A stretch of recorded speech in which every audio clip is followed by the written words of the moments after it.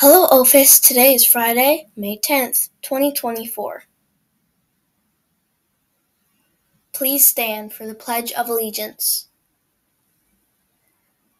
I pledge allegiance to the flag of the United States of America and to the Republic for which it stands, one nation, under God, indivisible, with liberty and justice for all.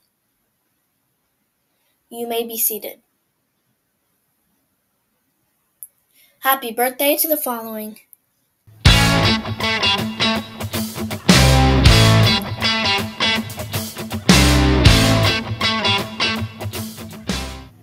For lunch today, you can expect Angelina's Pizza served with side salad, lentil pasta with marinara and grapes.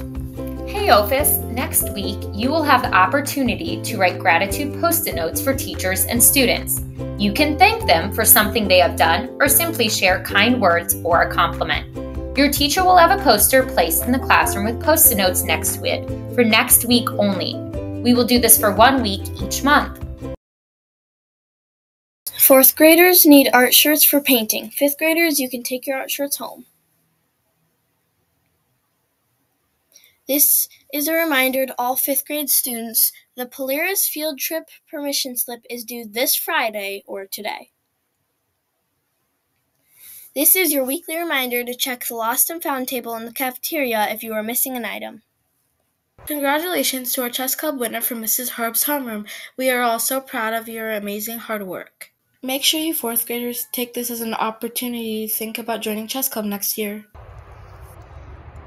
As always, Be excellent to one another.